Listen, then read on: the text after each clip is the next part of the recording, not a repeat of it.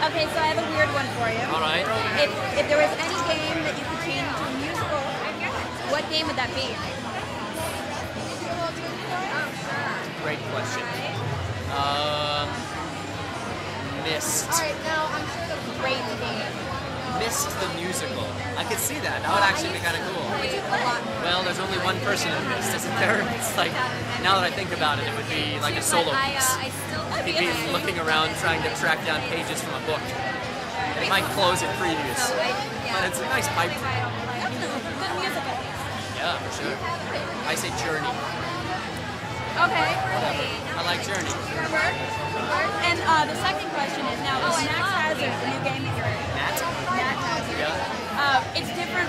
shooters because you're not saving the world. Yeah. No.